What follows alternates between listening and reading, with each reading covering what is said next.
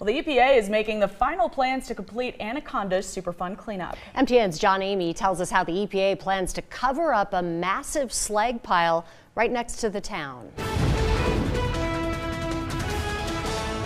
The Environmental Protection Agency is making plans to cover up Anaconda's huge piles of mine waste for good. We want to get it to a point where it does not pose any risk to, to the community, so there's no blowing slag uh, off, off the pile. As part of the Superfund agreement reached with the EPA and the Atlantic Richfield Company, Anaconda's mounds of waste left over from the smelter, known as slag, will be covered over with dirt. The record of decision calls for an 18-inch soil cover to to be revegetated, so there would be some regrading and then placement of the soil cover. It would look very similar to the adjacent Anaconda tailings impoundment, which is right uh, next to the slag pile.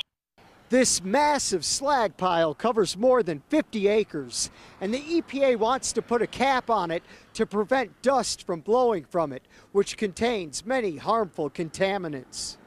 Uh, they do contain uh, elements like arsenic and lead and cadmium, so you know we don't want those uh, uh elements to to be uh, introduced into the community. So if there's some release of slag onto soils, it has the potential to recontaminate those soils. The EPA is designing the plans for the slag cap before it begins this multi million dollar project.